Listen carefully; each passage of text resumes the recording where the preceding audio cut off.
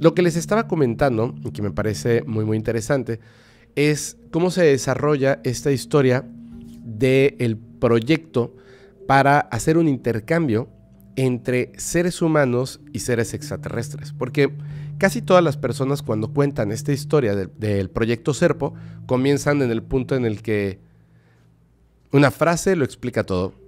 Se hace un convenio entre seres humanos y seres extraterrestres del planeta Serpo y entonces 12 personas son enviadas al, al planeta Serpo por un lapso de 10 años. Algunos dicen que 5, la información que yo tengo son 10 años porque hay una curiosidad muy importante ahí.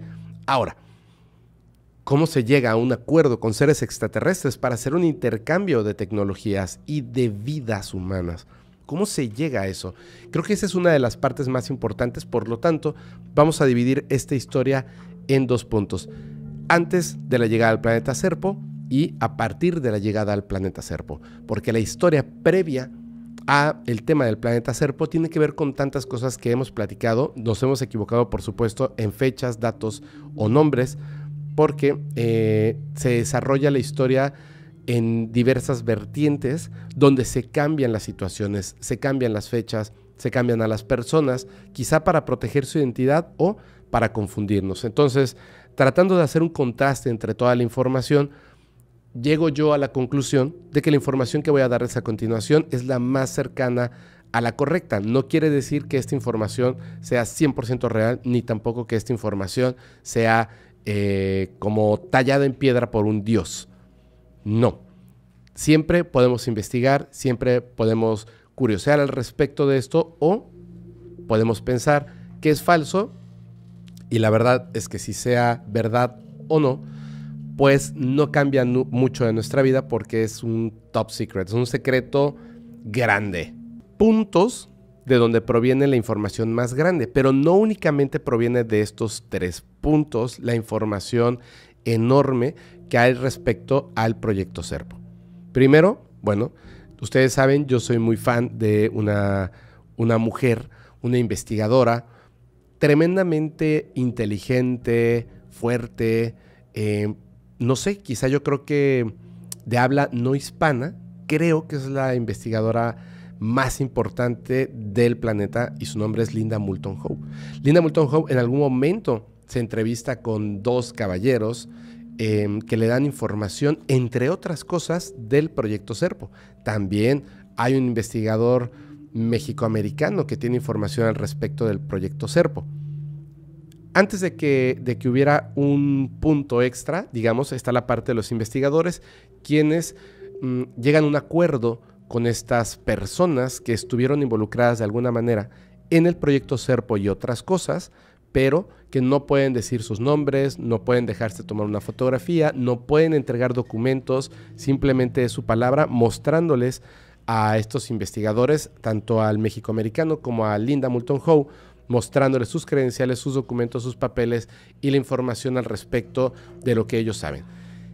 Eh, es decisión, ahora sí que del investigador o del periodista, el pensar que esto pueda ser real o no. Como Linda Moulton Hope, yo también creo que esto es real y quiero que comencemos con una prueba, digamos, esta información en papel, que es el libro que estamos viendo en pantalla así tal cual, la historia secreta de los extraterrestres. Este, este libro, ahí como lo pueden ver en pantalla, lo escribe Len Kasten. Len Kasten no nada más es un escritor. vamos a hablar aquí con toda la verdad y toda la honestidad posible. Len Kasten es un ufólogo entusiasta también. Es decir, que es un amante de los temas de ufología, extraterrestres, así como yo. Pero eso no le resta importancia al investigador ni al escritor. Él escribe y en, este libro, específicamente en este libro, hay, creo yo, la información más cercana a la historia del proyecto Serpo.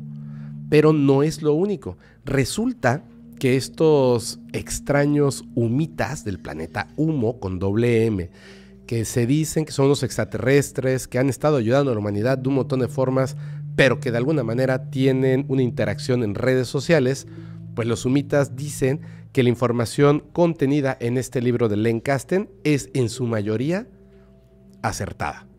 Entonces, mucha de la información pues proviene de este libro de Lencasten.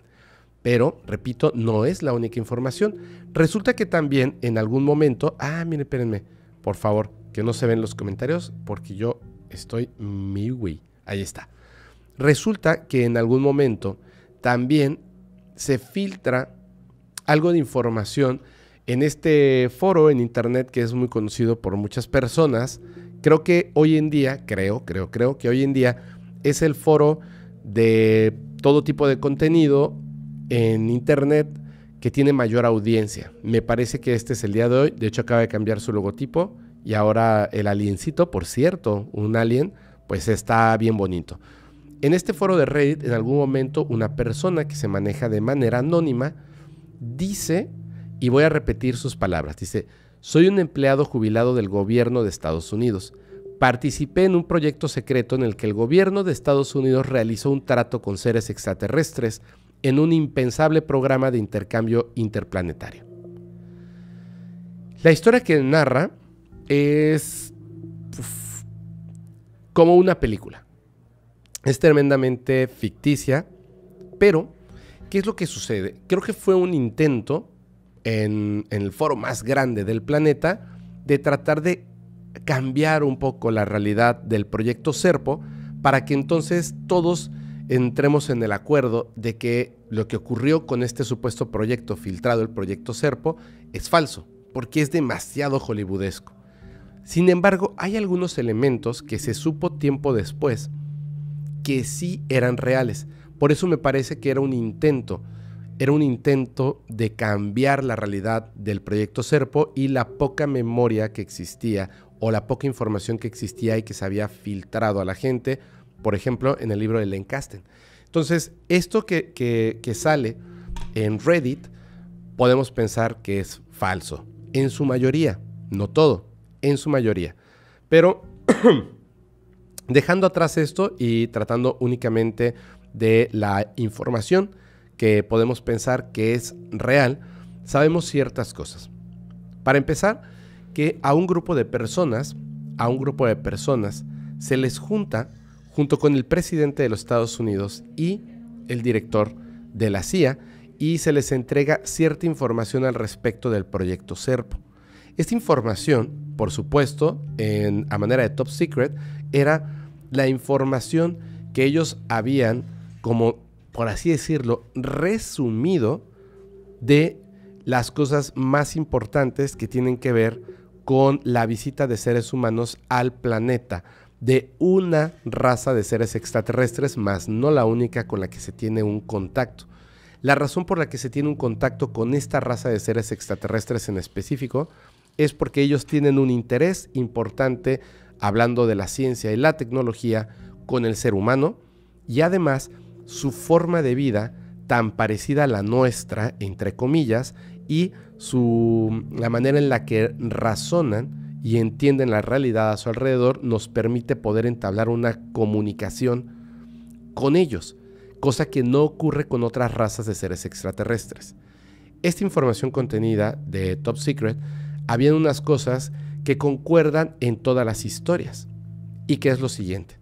Para empezar, estas personas que ya tenían conocimiento de la recuperación de naves extraterrestres, eh, de cuerpos de estos seres, de seres interdimensionales, de encuentros, de convenios y más. Estas personas que estaban en ese momento reunidas em, reciben un mensaje en el que concuerdan todos. Les dice en ese momento quién era el director de la CIA. Caballeros, damas, escuchen con atención. Menos de 60 personas en todo el planeta conocen esta información. Si comparten lo que están a punto de conocer el día de hoy con alguien no autorizado, serán acusados de traición. Además, ustedes saben lo que esto significa. Acto seguido, comienza esta increíble reunión donde se va a resumir todo lo que tiene que ver con el proyecto Serpo. Para empezar, ellos dicen que en algún momento que ahora vamos a llegar a eso, existe una comunicación muy importante entre seres extraterrestres y seres humanos. Para esto se había llegado a un acuerdo. Ahorita vamos a llegar a eso porque la información es impresionante. Se había llegado a un acuerdo de que un grupo de 12 personas iba a poder viajar al planeta Serpo. ¿Qué es lo que decían? Ellos habían acordado en un principio que esas 12 personas debían pertenecer a cuerpos militares, pero no necesariamente de la USAF. Es decir, podían ser de cualquier otra de las dependencias gubernamentales militares de Estados Unidos. 12 personas. La carrera de estas personas en activo debía ser por lo menos de cuatro años. Cuatro años es muy poco. ¿Por qué razón cuatro años? Estaban buscando un perfil en específico. Un perfil joven, un perfil fuerte y, lo más importante, estos perfiles debían de tener cualquiera de estos dos puntos, pero eran más importantes incluso que los cuatro años en activo. Primero, no debían de tener lazos familiares, es decir, sus padres no debían de estar aún con vida o no debían de saber quiénes son.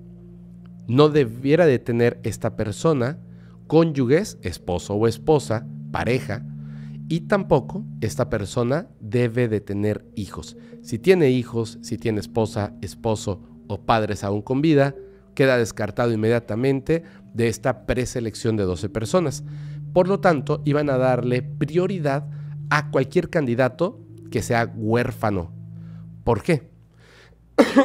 Como con el tema del el viaje que se hace con estas personas que llegan por primera vez, supuestamente, a nuestro único satélite natural, supuestamente, la Luna, pues hmm, posiblemente iba a tratarse de un viaje sin retorno. Todo lo que puede ocurrir para que una persona después de 10 años de estar en otro planeta regrese es muy improbable. Pero ellos, iban a hacer todo lo posible para que esto ocurriera. Ahora, antes de que, de que fuera este, digamos, mm, convenio, este trato con seres extraterrestres, ocurrió un evento tremendamente importante que no sé por qué nunca hemos hecho un capítulo, un capítulo de, de este, del evento de Roswell. No sé por qué nunca lo hemos hecho. Tenemos que hacer un capítulo de Roswell. Creo que es todo el mundo conoce la historia, pero no la conocen a profundidad. Me encanta, es, es muy cinematográfico también. Ocurre, por supuesto, eh, bueno, eh, hay diferentes versiones, luego lo veremos en, un este, capítulo, pero ocurre entre el 2 y 4 de julio, porque el 4 de julio es cuando se da a conocer la noticia, pero hay muchas fuentes que afirman que el evento ocurre el 2 de julio. Entonces, 4 de julio de 1947 en Roswell, Nuevo México, ocurre este evento que conocemos a grandes rasgos, donde una supuesta nave extraterrestre colisiona en, una granja y bueno, llegan los militares, llegan los policías, se da a conocer que recuperaron una nave extraterrestre, después se desdicen, bla, bla, bla, bla. Pero aquí hablando en favor de la verdad, pues sí se recuperan dos de estas naves, repito, porque no fue una, dos de estas naves, pero en la principal y más importante, que es lo que ocurre en Roswell, había un ser extraterrestre que aún continuaba con vida, o por lo menos con lo que nosotros reconocemos como vida. Se movía, caminaba, estaba activo. Los demás eran simples cuerpos destrozados e inertes. A este ser em, se lo llevan a una base que supuestamente no existía y que en ese momento un grupo tremendo de personas, como si hubiese eh, sido la llegada en ese momento de Bad Bunny, que iba a dar un concierto gratuito, un centenar de personas van a adecuar este terreno para poder entrevistar a un ser extraterrestre. Que ese es un capítulo especial que vamos a tener en pulso también, porque es una de las historias más increíbles que he leído y que he tenido la oportunidad de investigar a profundidad, la entrevista a un ser extraterrestre. Para empezar, y haciendo un spoiler, cómo te entrevistas, cómo interrogas a un ser extraterrestre que primero que nada no tiene boca, no produce sonidos y pues no tenemos otro ejemplar vivo. ¿Cómo lo haces? Pues bueno, a este ser extraterrestre militarmente le ponen un nombre. Este nombre es EVE 1. EVE, que significa ente biológico extraterrestre, 1, el primero de ellos. Y a la raza de estos EVEs, entes biológicos extraterrestres, se les conoce como los EVENS. E-V-E-N-S. EVENS. Pero este, el ser EV1, es el primer ser con el que supuestamente la humanidad entabla una comunicación inteligente por un largo periodo de tiempo. En este, en este caso, que fue muy interesante, llegó un momento en que este Eve, que ese no era el nombre que utilizaba ella para sí misma, sino más bien utilizaba otro nombre, un nombre muy interesante y el concepto que tiene de vida muy distinto al que tenemos los seres humanos también, empieza a comunicarse y de, alguna forma pues se entabla esa primer comunicación con este tipo de entidades no humanas. Y estas entidades no humanas se dan cuenta de que pueden obtener un provecho de nosotros, por supuesto no un provecho tecnológico, por supuesto no un provecho de materias primas, no les interesa el agua ni los minerales, esas son, perdón que lo diga, pero son patrañas.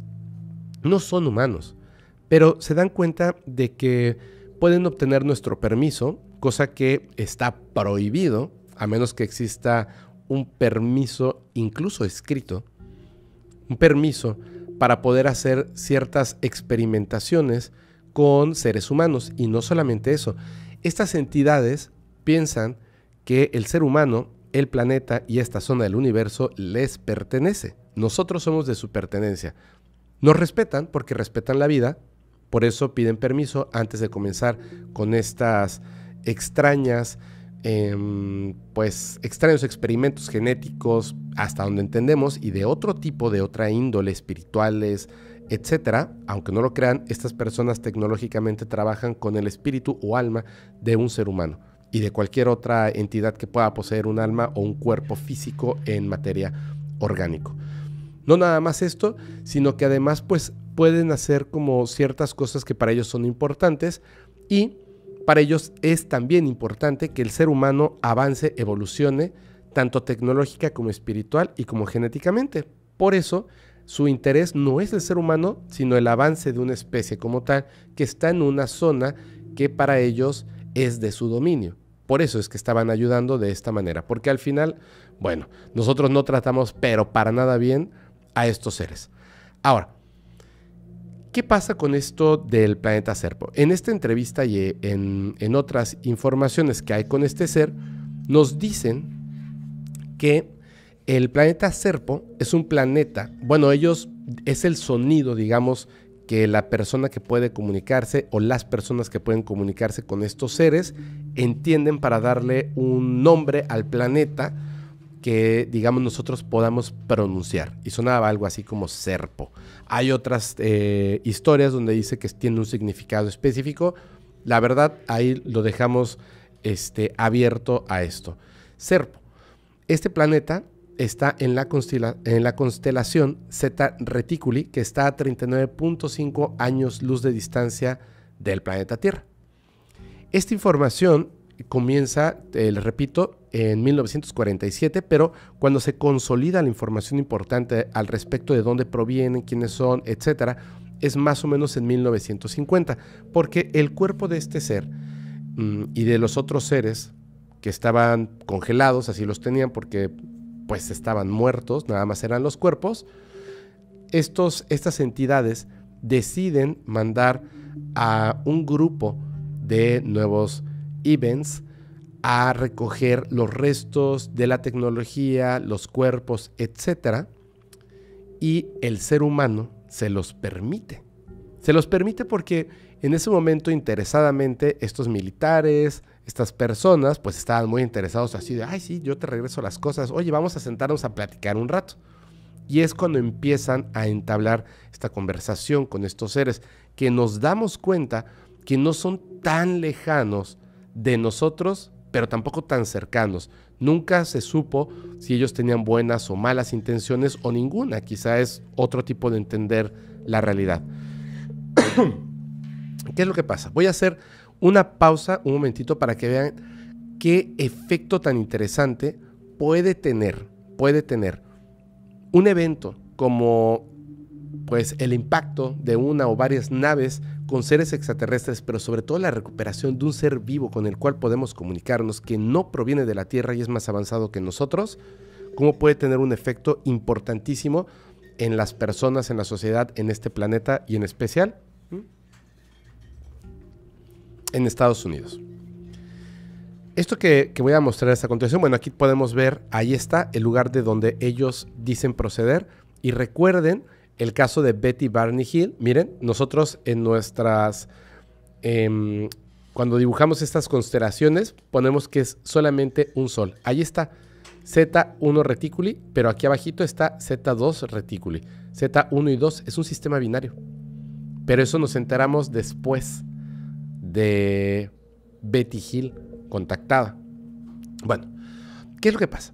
Con esto que está bien interesante. Eso que estamos viendo en pantalla es un documento filtrado mm, donde en este informe el expresidente de Estados Unidos, John F. Kennedy, le está pidiendo al que en aquel entonces era el director de la CIA que por favor desclasificara la información que tiene que ver con seres extraterrestres. Esto luego de haber tenido una reunión con personal del más alto nivel de secretismo de la CIA, donde le habían informado a John F. Kennedy lo mismo que le habían eh, informado a su predecesor, el presidente Eisenhower. ¿Qué era?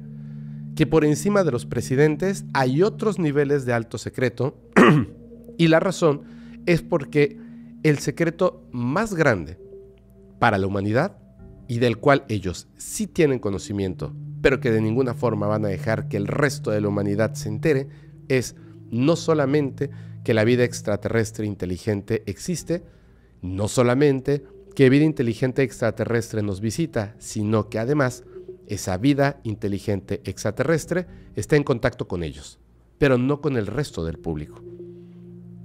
John F. Kennedy en ese momento pensaba de otra forma. Esta información le cayó como un bal de agua. Descubrió que la vida y lo que estaba ocurriendo a su alrededor era más loco, más loco que el sueño más extraño que había tenido en su vida. Y empezó a imaginar tantas cosas que tenían que ver con la información, lo que puede hacer Estados Unidos con esta información, el mundo, los seres humanos tenía a lo mejor una manera más romántica de pensar al respecto. John F. Kennedy. Y entonces aquí le está pidiendo algunas cosas. Por ejemplo, que siendo que está ocurriendo la carrera espacial, quizá, quizá, quizá, quizá, podrían entablar una forma de llegar a un convenio pacífico con Rusia, con la ex Unión Soviética, y unir fuerzas con esta tecnología y este encuentro con estos seres para poder entonces relanzar el programa espacial, un programa espacial humano, y poder hacer contacto con estas especies, estas sociedades, y hacer un futuro maravilloso para todos los seres humanos. ¿Qué fue lo que pasó? Que es entonces cuando llegamos a una fecha en específico. 22 de noviembre de 1963. Ojo, lo de Roswell fue en 1947. Vamos al 22 de noviembre de 1963. ¿Qué es lo que pasa con John F. Kennedy? Aquí lo vemos muy feliz, al lado de su esposa y otras personas, pero... Hmm, sí, pues no le gustó al director de la CIA, y a tantas otras personas que este presidente tomó una mala decisión. Eisenhower preguntó, hmm, ¿el presidente que me antecede a mí sabe esta información? No, señor. Usted es el primer presidente al que le hacemos eh, saber esto. Ok. ¿Qué es lo que quieren ustedes que haga? que tome la mejor decisión. Pero si tomo la decisión de entregarle esta información al público, ¿ustedes qué van a pensar al respecto? Que tomó una mala decisión. Ok, voy a tomar una buena decisión. Vamos a mantener esto en secreto. Pero John F. Kennedy tomó otra decisión. Y pues murió. Así que como muere John F. Kennedy, aquí está el que va a ser el nuevo presidente de los Estados Unidos, Lyndon Johnson. Él toma, este, hace su juramento a bordo del Air Force One como nuevo presidente de los Estados Unidos, por supuesto, después de que fallece de varios tiros John F. Kennedy. Y se le hace la pregunta, Señor, ¿ya vio que se murió el presidente? Sí. ¿Y ustedes ahora el presidente? Sí, fíjese. Le voy a contar algo. Los extraterrestres existen, tenemos contacto con ellos, bla, bla, bla. Luego verá usted las evidencias. Por ahora solamente voy a decirle que la diferencia entre John F. Kennedy y Eisenhower es una pregunta. ¿Qué quiere que hagamos con esta información? ¿Quiere que la mantengamos en secreto y usted nos va a apoyar con mucho, mucho, mucho, mucho, mucho, mucho, mucho, muchísimo dinero? ¿O como John F. Kennedy quiere decidir que el pueblo de Norteamérica y el mundo se entere de esto. ¿Qué fue lo que hizo entonces Lyndon Johnson? Decir, callémonos, pero muéstrenme la información a mí. Y así es como llegamos, ahora sí, con este presidente, Lyndon Johnson, nos vamos a diciembre de 1963. La base de los Álamos, aquí está, la base de los Álamos, recibe una serie de mensajes por medio de tecnología que habían dejado estos seres, que habíamos entendido, que gracias a ellos pues logramos, digamos, de alguna manera construir, en 1963 esta información ya existía, construir algo que el día de hoy la especie humana se supone que no tiene.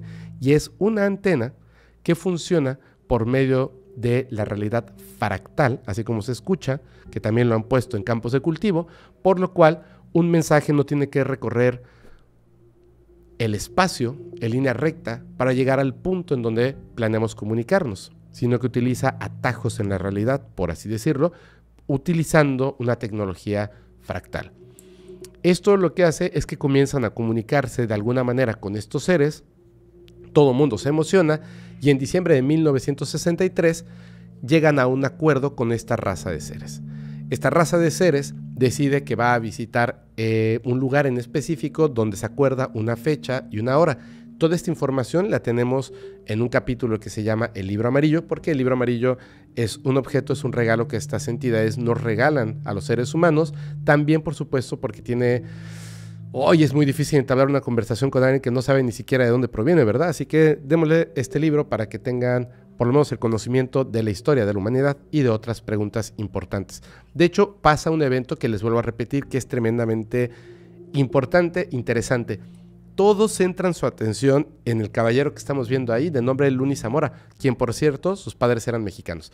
Todos apuntan la dirección en Luni Zamora y hombre, este señor vio un ovni que tenía ahí un, un este, como un mensaje, ¿no? Y luego cuando se fue, quemó las plantas y vio a dos seres. Sí, sí, sí. Estas entidades mandan dos naves, dos naves. Esto ocurre el 24 de abril de 1964. Mandan dos naves al lugar donde tiene que ser el encuentro, pero fíjense muy bien que se equivocaron los extraterrestres. No, no se equivocaron. Lo que pasa es que si no dejaban un hilito suelto, la curiosidad del ser humano no iba a deshilachar esta información. Nunca nos íbamos a enterar de que todo esto estaba pasando y ellos lo sabían. Entonces se equivocan, dejan un mensaje muy claro en esta nave, marcan el terreno con fuego o con algo muy muy caliente que destruye algunas de las plantas.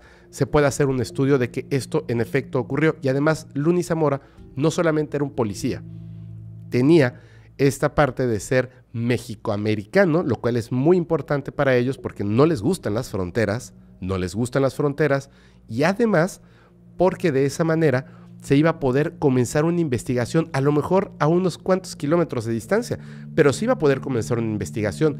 ¿En qué resulta esta información? En todo lo que le estoy diciendo. Por eso es importante, pero no es la historia más importante. La historia más importante es la que ocurre del otro lado, a unos cuantos kilómetros, ahí en Socorro, Nuevo México. todo esto de Luni Zamora, que bueno, sí es muy, muy, muy importante, pero así como Luni Zamora estaba viendo esta nave, en otro lado estaba otra nave llegando, bajaron estos seres extraterrestres, descubrimos que no son los grises únicamente, como si convivieran varias especies en conjunto, como que estos grises de repente sí tienen orejas y de repente no, de repente tienen boca y de repente no, de repente pueden producir sonidos y de repente no, de repente pueden tener 30 centímetros más de altura o un metro y medio más y de repente no, de repente pueden utilizar ciertos tipos como de artilugios tecnológicos muy interesantes y de repente no. ¿Por qué? ¿Por qué se parecen más o menos, pero por qué son tan distintos incluso en su anatomía? Lo descubriremos un poquito más adelante. Ahorita, ¿qué es lo que les voy a decir? Estos seres, los Events, como les habíamos puesto nosotros aquí en el planeta Tierra, se reúnen con el presidente Lyndon Johnson y oficiales de alto mando.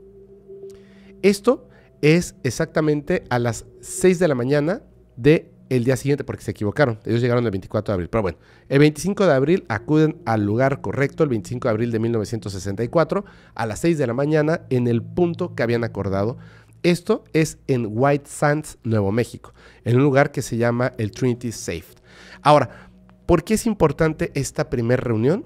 Porque en ese intercambio estaban no únicamente siendo contactados por medio de la tecnología que habíamos recuperado en 1947 y que nos enseñaron a usar en 1950 estos seres, sino que además estos seres, los Evans, habían invitado a un grupo de personas pero los militares no lo sabían. Y esto me encanta, esto me encanta. ¿Qué es lo que pasa? Que eh, comienza ahora sí nuestra historia ya en 1964, cuando en esta reunión, entre otro montón de cosas, se acuerda el intercambio entre humanos y extraterrestres. Dos humanos viajarán al planeta Serpo y estarán ahí por un lapso de 10 años, para después regresar, documentar todo lo que puedan. No pueden traer muestras físicas de nada, pero sí van a hacer todo lo posible para poder documentar la información más importante que se considere y a cambio, pues van a tener ellos eh, puerta abierta para poder hacer ciertos experimentos genéticos y muchas otras cosas más en la zona de Estados Unidos. Ok, después de esta que, que acuerdan que van a viajar estas personas, llegamos al 15 de julio de 1965. El 15 de julio de 1965, por fin vamos a tener este evento increíble donde 12 personas van a viajar al planeta Serpo. Pero recuerdan que yo les dije que estas, estos seres estaban eh, invitando a otras personas pues es que ocurre algo muy importante además de lo de Luni Zamora. Luni Zamora fue invitado como un espectador, digamos, para esta parte de la historia. En esta zona de Nuevo México, en esta zona de Nuevo México empezó a ocurrir un efecto bien interesante. Hubo personas que vieron luces extrañas en el cielo. No se reportaron platillos como tal. Luces extrañas en el cielo que pues simplemente dependiendo de la creencia de cada quien, podría ser a lo mejor algo de índole religioso, para otros quizá extraterrestres, para otros quizá pruebas de armas eh, extrañas por el gobierno, no lo sé. Cada quien tenía una versión de la historia, pero ¿por qué era importante esto? Las, las personas en aquel entonces era común que sí reportaran a la policía cualquier tipo de cosa rara, extraña, etcétera, en Estados Unidos.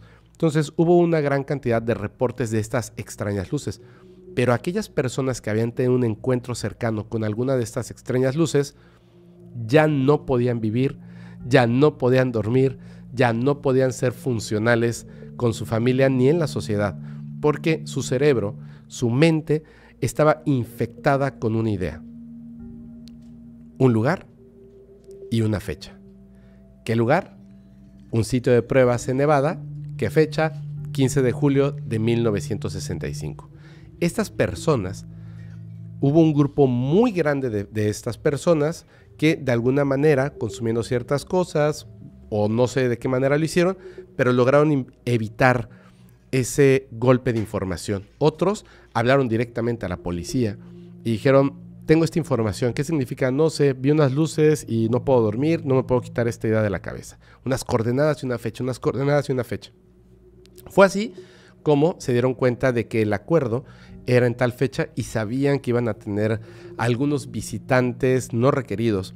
Y así es como un grupo de seres humanos logra llegar a este lugar y descubren que estas entidades, los events, habían seleccionado a dos personas, dos personas que lograron llegar hasta este punto, perdón por eso, dos personas que lograron llegar hasta este punto.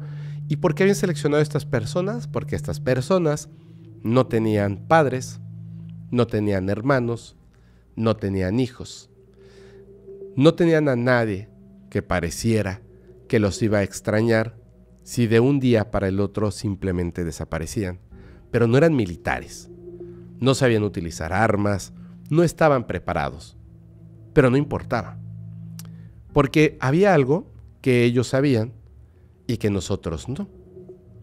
El ser humano no está diseñado para viajar en el espacio. El ser humano no está diseñado para viajar en el espacio. Así que ellos iban a utilizar su tecnología y de alguna manera iban a construir, por así decirlo, iban a diseñar una manera en la que 12 seres humanos pudieran viajar a Serpo. Muy bien. 15 de julio de 1965 en el, sitio de pruebas de Nevada es donde se hace el encuentro. Les voy a narrar esto y vamos a hacer una pausa para que después les narre lo que ocurre en el planeta Serpo. Pero esto es bien interesante. Primero, conocemos a un personaje muy importante. Este personaje es conocido como EB2, ente biológico extraterrestre 2. Recuerden que el EB1 fue aquel que se obtuvo su cuerpo en 1947 aún con vida en Roswell, Nuevo México, que fue de alguna manera quien nos permitió entablar esa comunicación con los events. EB2 llega con estas naves que las notan desde los radares, que dos naves gigantescas, unos cuerpos metálicos quizá gigantescos, estaban fuera del planeta Tierra llegando.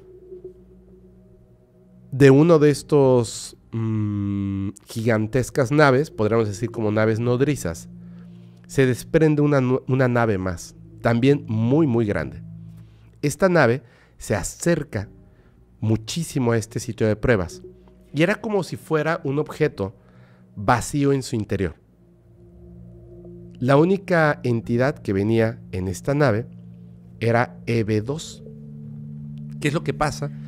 EB2 tenía no solamente podía producir sonidos, sino que podía hablar inglés. Es EB2 quien trae el regalo del libro amarillo, es EB2 quien muchas otras cosas estaban ocurriendo. Dicen que tenía una figura femenina que de alguna manera podías intuir que si tuviera un sexo, pues sería eh, hembra, quizá EB2, no podía entablar una conversación tan clara como un ser humano, pero podía darse a entender, comunicarse, iba a funcionar más o menos como un dispositivo de mm, traducción instantánea. Además, era quien nos iba a poder dar información, iba a ser, digamos, que la persona que nos iba a ayudar a llevar a cabo este encuentro. Por supuesto, estas 12 personas que se habían juntado, dos civiles y 10 militares, ya habían pasado por un montón de pruebas, eh, ya se les había borrado la identidad, ya habían ocurrido un montón de cosas, porque sabían que por lo menos 10 años no iban a estar en el planeta. Entonces, llega EB2 junto con esta nave gigantesca y lo primero que hace es decirle, oigan, necesitamos que todas las cosas que van a llevar la suban a esta nave. ¿Qué es lo que suben? Un montón de equipo militar, desde pues cosas como motocicletas, ropa, etcétera, y armas. Agregan armas porque ser humano. También, por supuesto, un montón de equipo médico, muchísimo equipo médico. Tenían los suministros para por lo menos que pudieran sobrevivir, pero así sin tener que realizar ningún tipo de trabajo, es decir, como cosechar una papa, para cinco años de subsistencia. También eh, agregaron un poco de elementos de entretenimiento. Por ejemplo, agregaron pensando en que evidentemente pues algo que tuviera baterías no iba a funcionar, agregaron por ejemplo algunos discos de música, pero de acetato, porque pues podían darle cuerda a mano y escuchar música. Algunas cosas de este tipo. No sabían exactamente a lo que se iban a enfrentar, aunque ya los habían preparado con alguna información.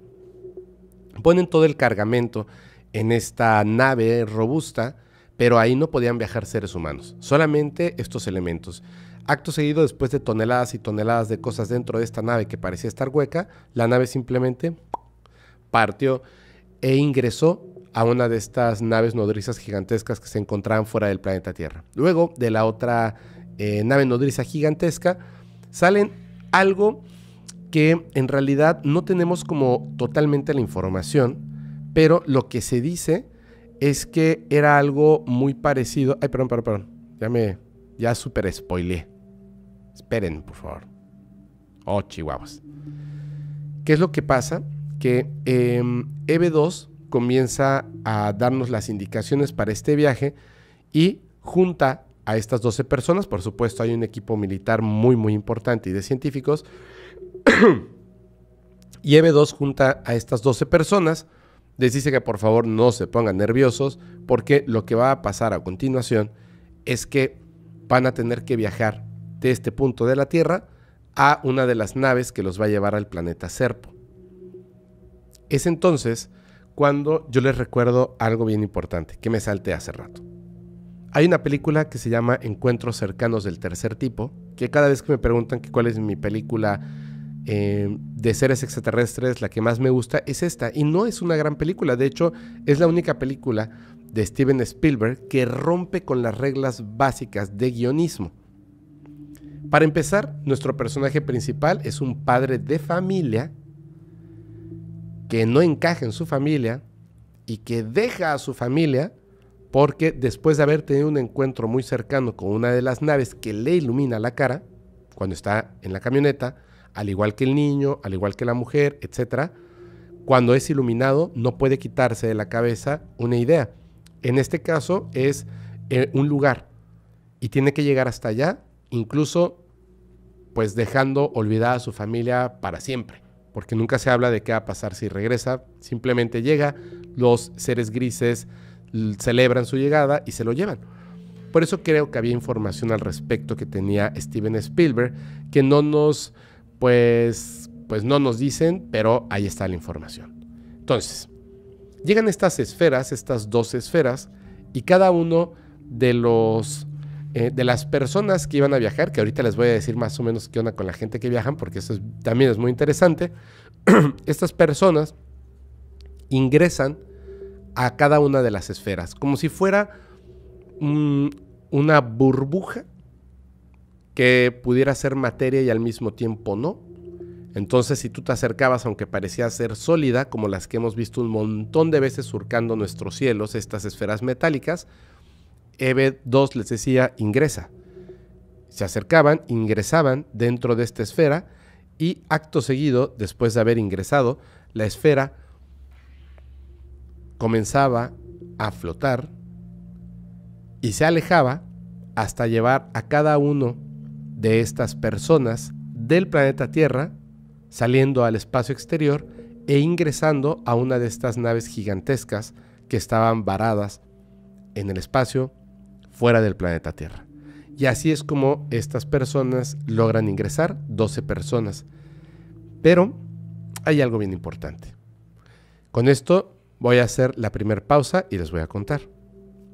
Cuando ellos ingresan dentro de esta gigantesca nave, Dicen que era como estar dentro del cascarón de un edificio gigantesco. No habían botones y pantallas y palancas y lucecitas por todos lados. No.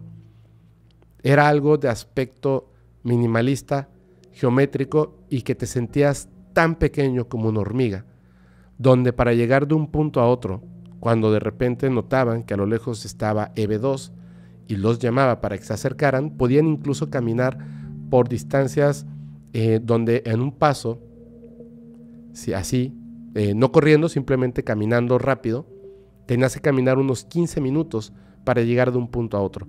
En el tiempo que estuvieron ahí no les dio, mm, no tenían el permiso y tampoco les dio el tiempo de recorrer la nave en su totalidad. En realidad no había nada que recorrer, o parecía que no había nada que recorrer. Porque les voy a contar algo. Recuerden, el ser humano no está diseñado para viajar en el espacio exterior. Hay algunas cosas que requiere el ser humano para su existencia. Por eso es que eh, aplaudimos con mucha fuerza a un astronauta, hombre o mujer, que ha pasado demasiado tiempo en las cercanías del espacio exterior, en órbita, porque sus músculos, sus huesos, eh, su flujo sanguíneo y muchas otras cosas comienzan rápidamente a deteriorarse. ¿Por qué? Porque el ser humano necesita de la gravedad del planeta para que el corazón haga su función, para que nuestros músculos se ejerciten y hagan su función, huesos, tendones, uñas, el sol y muchas cosas más. El ser humano no está diseñado para estos viajes. Así que esta nave parece, este par de naves gigantescas, parece que fueron diseñadas única y exclusivamente para el viaje. El viaje no fue instantáneo como ellos lo pensaban, porque si la nave se moviera de la manera en la que ellos lo hacen a través del espacio y el tiempo, los seres humanos desaparecerían. Entonces tuvieron que invertir en otro tipo de tecnología, estos events, y se cree que construyeron estas naves especialmente para este proyecto. Estas naves tardaron 272 días para llegar del planeta Tierra a Zeta Reticuli y ahí al planeta Serpo. Pero cuando estaban ahí y llegaron en estas esferas, el tiempo comenzó a transcurrir de una manera distinta para cada una de las 12 personas. Para empezar, habían 12 personas, pero solamente 11 de ellos estaban con vida. El primero de ellos en fallecer fue un piloto. Este piloto falleció en el camino del planeta Tierra de una de las esferas a una de estas naves. ¿Qué sucedió? Se cree que a lo mejor quedó tan impactado por el viaje, que dicen que era muy extraño y muy rápido, era muy veloz, que entonces tuvo un problema cardiopulmonar, se quedó sin aire y falleció. Cuando la esfera lo dejó, lo único que dejó fue el cuerpo de esta persona. Fue el primer fallecido y era conocido como el número 308. Ahorita les voy a decir qué onda con esto de los números, pero llegó y estaba fallecido. Los events que estaban en la nave, que habían más, vieron el cuerpo y simplemente se lo llevaron, lo escondieron. Y cuando ellos comenzaron a contarse en esta media realidad de ese lugar, se dieron cuenta de que eran 11 y no eran 12. Entonces caminaron durante 15 minutos hasta que el comandante de la misión 102, así se llamaba él, se hacía llamar 102, llega con eh, Eve número 2 y le dice, ¿dónde está mi compañero? Y Eve número 2 le dice, el hombre de la tierra no está vivo. Hubo una ligera discusión, por así decirlo, porque comienza a exigir el comandante de la misión que le muestre el cuerpo de 308. Si no está vivo, quiere saber qué fue lo que pasó. Como hablaba inglés pero no podía expresarse de la misma manera que un ser humano, EB2 le dijo al comandante de la misión, a 102, le dijo que había ocurrido un problema, no utilizó la palabra problema, dijo que había ocurrido un evento en el cual 308 falleció de camino a la nave, pero que estaba bien, que todo estaba bien, porque habían recuperado el cuerpo, lo importante. Incluso pensó en buscar las armas. Y EB2 inmediatamente le dijo, tranquilo, no hay necesidad de la violencia, nunca. voy a mostrarte el cuerpo de 308. Resulta que para EB2 el concepto de estar vivo y muerto no era realmente importante. No comprendía por qué para ellos era tan importante que estuviera vivo, si el cuerpo estaba ahí. Entonces, pide que por favor le deje ver el cuerpo de 308 y le dice, claro que sí. Ven conmigo. Así que lo lleva a recorrer la nave hasta que le muestra el cuerpo de 308. ¿Qué es lo que observa? Ya estaban experimentando con el cuerpo de 308. Era algo intermedio entre un ser extraterrestre como ellos y 308. EB2 logra explicarle que para ellos es más importante el cuerpo y que ahora se les permita hacer experimentación en estos cuerpos que la vida de un ser humano más. Porque para ellos la vida no es el momento en el que ocupamos este cuerpo. Este cuerpo es solamente un objeto de materia construido, diseñado genéticamente o tecnológicamente de alguna u otra manera para contener por un breve espacio de tiempo un apéndice de un espíritu que puede o no estar ocupando otros cuerpos en el planeta o en otros planetas o realidades. Por lo tanto, el perder un cuerpo no es importante. Lo importante sería perder un espíritu. Pero el cuerpo no se había perdido. El cuerpo estaba ahí y ahora pueden experimentar con él. Estas personas tuvieron que comprender rápidamente a qué se refería, pero EB2 siempre se mostró amable, siempre se mostró amable y trataba, como podía, de explicar estos conceptos quizá distintos, sobre todo para militares. Ahora, estas personas, en el libro sí hay un detalle de quiénes son estas personas, pero es importante que eh, sepamos que puede haber una información errónea ahí. ¿Qué es lo importante de este tema?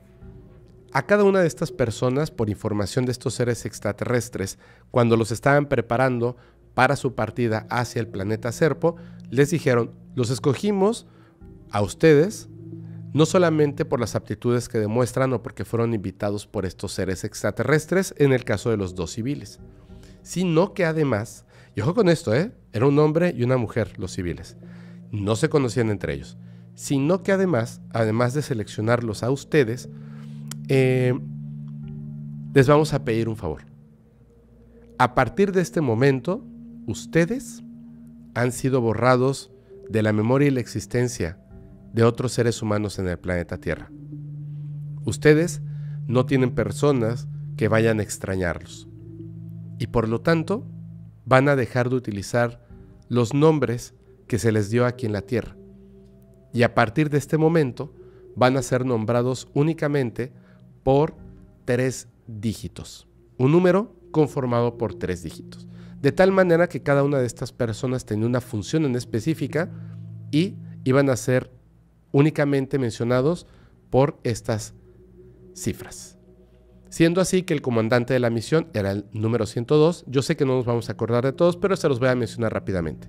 El asistente de este comandante era el 203. Una piloto, 225. El piloto fallecido, 308. Una lingüista, 420. Una lingüista más, 475. Un biólogo, 518. Un científico, 633, otro científico, 661, un médico, 700, eh, otro médico, 754 y una persona, un militar, que iba a ser la seguridad del grupo, 899. Cada uno de ellos había seleccionado em, de esta manera y fueron las personas que estaban ahí. Por supuesto, el 308, el piloto 308, fue el primer fallecido y ni siquiera alcanzó a ver el planeta Serpo. Así que 272 días después de todo esto que ha pasado, donde incluso un expresidente ha fallecido por sus ideales, por no someterse a esta idea y a este control extraterrestre y humano, 11 personas y un cuerpo, 12 cuerpos, 11 personas, junto con EB2 y un montón de events, transcurren 272 días en el espacio en un extraño, extraño, extraño viaje hasta que por fin llegan al planeta Serpo. Las entidades del planeta Serpo los ven llegar. Les voy a contar a continuación qué es lo que ocurre cuando están en el planeta Serpo, en que llegamos, bueno, llegan estas 12 cuerpos, 11 personas al planeta Serpo. Telma, ahorita te saludo, ahorita te saludo. Llegan al planeta Serpo. Y aquí todo se va a poner muy, muy, muy, muy, muy raro. Muy raro. Em, cuando llegan al planeta Serpo, dice que hay algo que desde que empiezan a notar el planeta, hay algo que les llama mucho, mucho, mucho la atención. En sus mentes es, es muy fácil describir este lugar, porque básicamente no hay nada. O sea, es como muy desértico, eh, pues al ser un sistema binario, no hay como que, como que eh, un momento de noche total. Siempre hay un poquito de luz. De hecho, dicen que para estas entidades que viven en el planeta Serpo, pues en realidad no es como que sea el día y la noche. Es como que un momento del día. Un momento en el que se descansa un momento en el que se sale a trabajar, un momento en el que no se trabaja, un momento en el que se alimentan, un momento así. No hay relojes, no hay moneda, no hay muchas cosas, es muy simple. Muchos de ellos llegaron incluso a pensar con el tiempo que no los llevaron al planeta, sino que los llevaron a un planetoide ficticio construido para no mostrarles la realidad de las cosas, así como las naves. Mm, quizá algo construido para que lo podamos entender, porque incluso los animales y las formas de vida que describen en esta zona, digamos, en este planeta, parecen hasta cierto punto cosas que pudieran darse en el planeta Tierra. Habían cosas que parecían búfalos gigantes, habían sobre todo unas que parecían como unas serpientes. Estas serpientes eran grandes y tenían ojos como los del ser humano. Ellos tenían prohibido cazar, tenían prohibida la violencia, pero no lo tenían como una imposición. Es que no había necesidad de usar violencia, no había necesidad de ciertas cosas, porque EB2 que se seguía comunicando con ellos era muy amable trataba de siempre de estar como, como humanizada y entender ciertas cosas.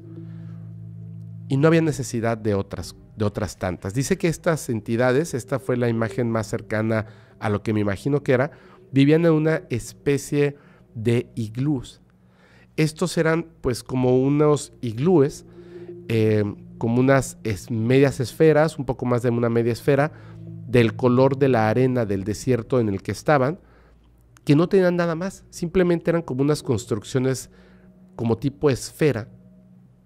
Y en cada una de estas construcciones eran donde vivían estas entidades conocidas como los Events. Además, había algo que era bien interesante. Em, estas entidades vivían, no todas, pero la gran mayoría vivían en parejas. Eran estos seres, parecían, o lo eran, eran seres como nosotros, diploides, donde no se notaba tanto que así que tú pudieras decir, uy, este es hembra y este es macho, pero sí habían como ciertas características anatómicas que podrían como ligeramente darnos una, una idea de que uno era macho y el otro era hembra, vivían así como en parejitas, no podían tener menos de un hijo, o sea, tenían que reproducirse, pero no podían tener más de dos hijos. Es decir, que la sociedad que existía ahí solamente podía mantenerse o disminuir, pero no podía aumentar, no podía aumentar. Estas entidades eran muy distintas y al mismo tiempo muy parecidas a las que ellos ya conocían, a los events, y es ahí donde se dieron cuenta de algo súper interesante. Primero, es que estos seres eran los seres naturales. Eran mucho, mucho, mucho, mucho más morenos por así decirlo, oscuros que los que ellos habían visto.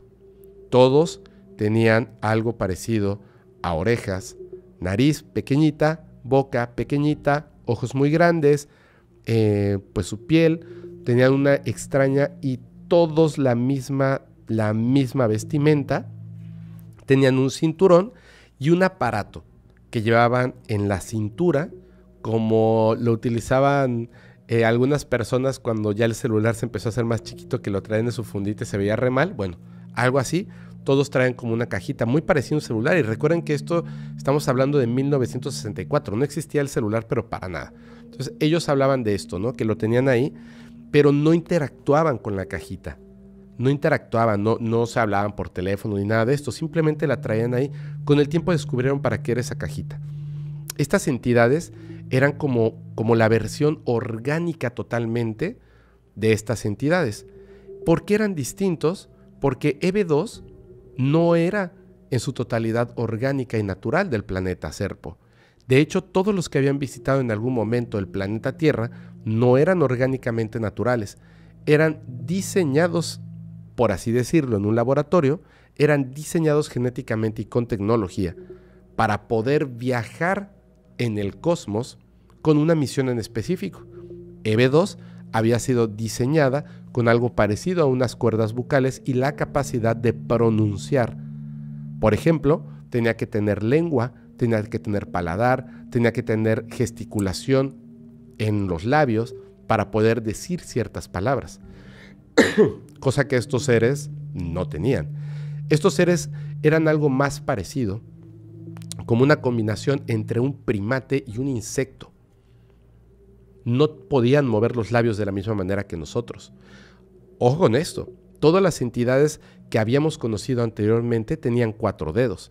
Algunos de hecho tenían unos como, eh, híjole, no, sé cómo decirlo, como lo que tienen los pulpos en la, punta de los dedos para poder tener cosas como estas, eh, estas cositas que succionan.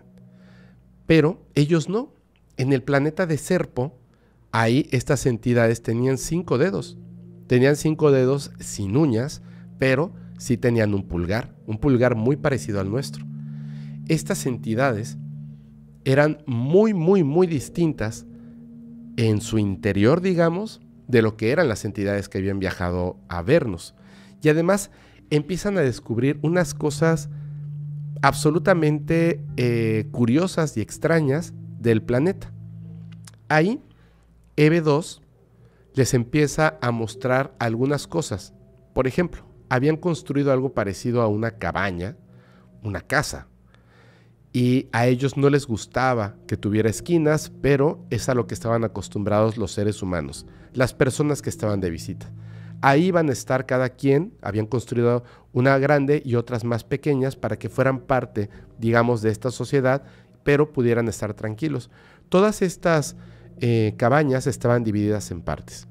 Para empezar, estas entidades tenían como muy bien divididas para qué era la función de cada zona de la casa. Aunque era redonda, era en esa parte es en donde se duerme o descansa, porque en realidad ellos no cierran los ojos y se duermen como nosotros y entran a un estado onírico, simplemente se quedan sin movimiento, en relajación, para que el cuerpo no esté gastando energía y después cuando tienen que hacer algo se paran y lo hacen y lo ejecutan como un reloj, como un insecto, todos los días la misma acción. No interactúan entre ellos, no bailan, no se ríen, no cantan, no tienen deportes, no, tienen arte, no cuelgan fotografías ni arte en las paredes, que por cierto son con forma circular, tampoco procesan el alimento dentro de las casas, hay un lugar específico para eso, y el alimento, todo el alimento que consumen, sabe exactamente a lo mismo y se ve casi exactamente igual como lo hacemos con las croquetas, dicen que sabía como, masticar y sabe a papel, básicamente, pero descubrieron que podían comer eso y alimentarse de esto.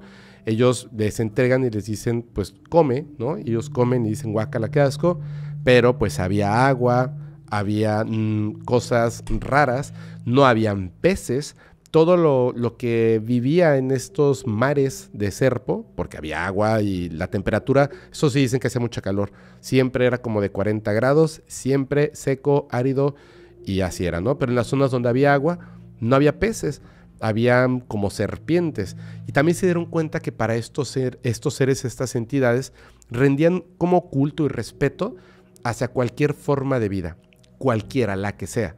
Pero había una forma de vida que ellos especialmente le rendían un culto. Cualquier forma de vida que tuviera forma de serpiente. Si no tenía, pues, patitas o aletitas, como las cosas que vivían en el mar, o esta que tenía ojos muy humanos, ellos le rendían culto, respeto. Entendían que era simplemente un animal vivo, pero para ellos era un ícono muy importante de su sociedad. Estos, los Eves, eh, con el tiempo se dieron cuenta estas personas que estaban ahí que tenían un líder. Este líder era distinto. Era un poco más alto. Este líder eh, no tenía pareja. Este líder los observaba, era curioso y a veces era el único de estos seres que estaba ahí que se atrevía a darles una orden. Era como que hasta cierto punto a veces la presencia de los humanos le disgustaba, pero era amable, siempre era amable. Él por supuesto no podía hablar y ocupaba a EB2 para que se comunicara con la gente. Mientras estuvieron ahí eh, existiendo con estas entidades, descubrieron cosas que eran pues sumamente interesantes. Para empezar, era como que mm, la vegetación fuera como la parte más importante del planeta, aunque no se mencionara. Había más vida, eh, digamos, vegetación, que otro tipo de formas de vida, porque sí se daba, sí se daba, si no, pues bueno, no podrían funcionar. Era, repito, como un planeta Tierra, pero minimalista. Em, había otro tipo de seres, algunos claramente muy inteligentes, pero que simplemente no se acercaban a ellos. Estaban estos que repito, parecían serpientes, los que parecían como búfalos, otros que parecían como un puma o algo así, pero que no era peligroso y tampoco se acercaban a ellos. Y también descubrieron que habían como ciertas acciones que podían dividirlas en dos puntos. La primera y principal que tenía que ver con la cajita que tenían en la cintura y me parece espectacular es que funcionaban más como que una mente colmena como de insectos. La sociedad se construía como en círculos. Y en la parte central de la sociedad, que digamos que era como un círculo, en la parte central había una torre que tenía en la parte de arriba algo que parecía un espejo porque brillaba muy fuerte con la luz de cualquiera de, los, de las dos estrellas o soles que tenían. Esto no solamente era como que, como que ese espejo eh, o, o punto de luz fuera como un adorno o algo así, sino que esa luz se proyectaba ese o ese reflejo se proyectaba directamente hacia una sección de la sociedad. Cuando daba esa luz y dependiendo de cómo diera esa luz, es como si tuviera una interacción esa luz con la cajita que llevaban en la cintura y entonces un EVE en este lugar en Serpo ejecutaba una acción. Una acción de trabajo, una acción de, por ejemplo, alimentarse, una acción de, por ejemplo, eh, pues buscar ciertas cosas, viajar, etc. No hablaban, repito, no se reían, no interactuaban realmente, simplemente parecían como, como personajes mm, insectoides esperando la indicación del Supremo para poder hacer ciertas cosas. Esa luz cambiaba y se movía y accionaba a otro grupo de la sociedad haciendo otra cosa en particular pasaban mucho tiempo navegando en otros lugares. Creo que se refieren mucho a lo que nosotros hacemos con los viajes astrales. Algunos se dedicaban a la construcción y desarrollo de tecnología, pero no como nosotros pensaríamos, así de construir un iPad, no, no hacían ese tipo de cosas. De repente eh, hay por ahí una historia de unos prismas y cosillas ahí como raras que creo que tienen interacción con la historia del proyecto Serpo, pero bueno, en algún momento estaban en este lugar cuando de repente vieron a un ser que era distinto a los demás seres que estaban en el planeta Serpo. No era pequeñito, era mucho más alto que ellos. Se notaba similar y al mismo tiempo distinto. Este ser no caminaba, era como si no pudiera interactuar con la gravedad del lugar. Literalmente este ser parecía que iba flotando, moviéndose a voluntad, sin tener que tocar el suelo. ellos observaron a este ser tan extraño y de inmediato le preguntaron a Eve 2, ¿quién es? Eve volteó y no entendía la pregunta. ¿Quién es quién? ¿Qué es? ¿Qué es qué? Ese, ese ser que está ahí, porque es distinto a ustedes. Y Eve respondió, no Eve, no humano, está de visita. Y comprendieron con el tiempo por qué para ellos era tan ridícula la idea de las fronteras. Cuando una entidad de otra parte del universo u otra realidad tiene la capacidad de poseer una tecnología o forma de viajar a otros planetas o dimensiones, está permitido. Puede pasar, puede interactuar, puede tomar cosas e irse. Y nadie lo ve como si fuera un bicho raro. Está permitido.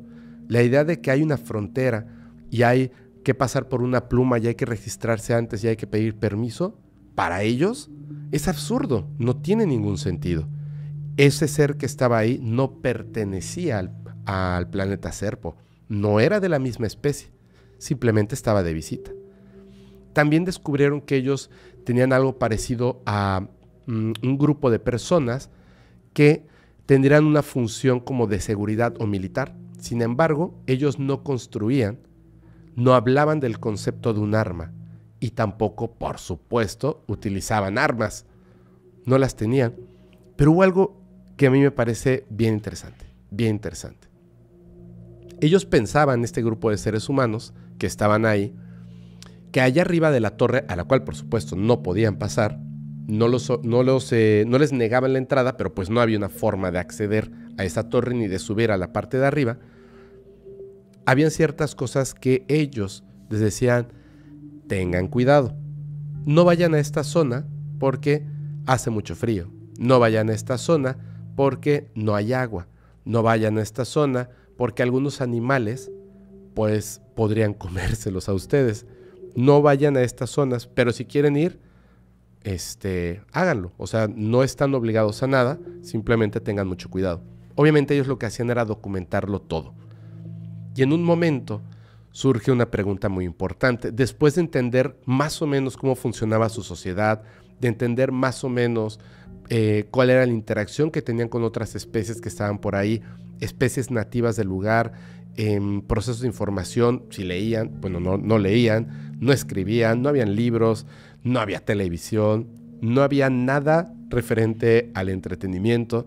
Y dicen que era tremendamente aburrido, que incluso varias de estas personas que estaban ahí, aún con el entrenamiento militar, entraron en una grande y larga depresión, porque extrañaban el olor de una hamburguesa quemada, extrañaban una playa, extrañaban un cuadro, una pintura, extrañaban el teatro, la televisión, un chiste, una bebida alcohólica, extrañaban cualquier tipo de cosa humana que ahí no existía.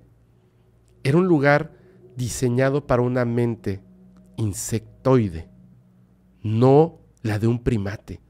Esa era una razón importante por la cual ellos comenzaron a comprender muchas cosas que tienen que ver con su vida y con la vida del ser humano. Estas entidades tendrán un Dios. Con el tiempo pudieron entablar una conversación inteligente con Eve 2 y les preguntaron acerca de si ellos creían en un Dios. Y la respuesta fue, me parece que fascinante. Eve 2 les mostró no solamente, les contó que ellos creían en la existencia de varios dioses sino que para ellos no eran dioses, ya que ellos podían comunicarse con estas entidades mayores, que son las culpables de la creación. Veneraban a estas entidades mayores, les rendían culto, respetaban la vida, respetaban a las otras entidades del cosmos que estas entidades mayores habían creado, respetaban a su creación. Y no comprendían por qué el ser humano, quien también tiene una creencia muy similar, no respeta a la creación misma. Em, entre todo esto que, iba pasando, estas personas que estuvieron ahí presentes en el planeta Serpo, que recuerden que eran 11, porque uno falleció eh, antes de, que comenzara el viaje tal cual. Digo, pues son cosas que pasan, ¿no? Sino que entre las cosas que fueron aprendiendo, la parte más importante es que aprendieron que el ser humano estaba muy, muy, muy por detrás, no solamente en la tecnología, sino espiritualmente se encontraba muy por detrás de estos seres. Que el ser humano necesitaba por lo menos una ayudadita para evolucionar espiritualmente. Necesitaban de una ayudadita para evolucionar, genéticamente. EB2 les había mostrado en ese tiempo que estuvieron ahí junto con otros seres que ellos habían estado experimentando con el ser humano para dos cosas.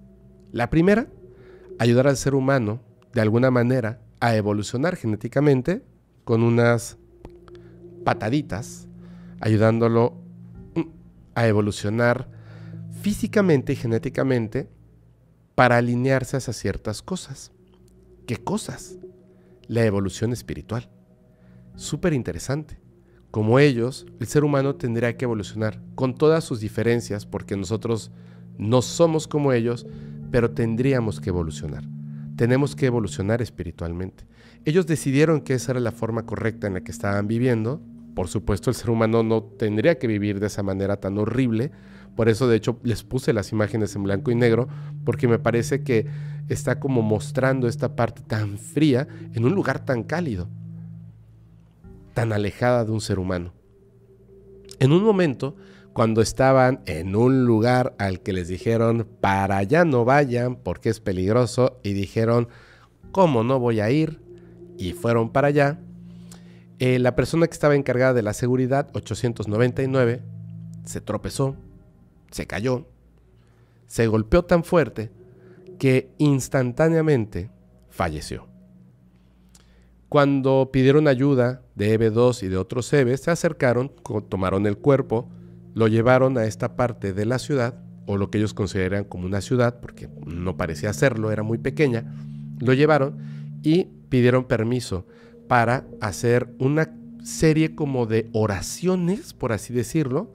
Estos seres se colocaron cerca del cuerpo y hicieron algo como una oración, como internamente pidieron algo para la persona humana que había muerto en Serpo y después entregaron el cuerpo para que ellos, los seres humanos, pudieran hacer la ceremonia que ellos consideraran que correspondía. Pero también se dieron cuenta de que muchas de las especies y cosas que estaban ahí estaban claramente modificadas genéticamente con cosas del planeta Tierra. Por eso se parecían algunas cosas. Después de esto, eh, enfermaron, varios de, estos, de estas personas enfermaron EB2 realmente no puedo darles una explicación del por qué habían enfermado en el, en el planeta Serpo, pues porque ahí no hay bacterias ni virus. Tendría que ser algo que ellos trajeron del planeta Tierra o no lo saben. Pero, sin embargo, estas personas no fallecieron, ya que entre las cosas que traían, traían penicilina y, bueno, lograron eh, salvarse de esa extraña enfermedad que les había dado en el planeta Serpo, que no era ninguna enfermedad que pudiéramos reconocer, así que lo único que se les ocurrió fue en la de problema, pues penicilina, te curaste, perfecto, listo, no volvemos a hablar de esto. Pero resulta que también hubo otra persona, de hecho fue el, uno de los médicos, el número 754, quien también falleció. Falleció. Como ya habían fallecido para este punto tres personas, quedaban nueve personas de 12 que habían viajado originalmente. Pasaron entonces los 10 años reglamentarios en el planeta Serpo y llegó el día en el que por fin estas personas iban a regresar al planeta Tierra. Estaban muy contentos, siete de ellos. Dos no estaban contentos de tener que regresar.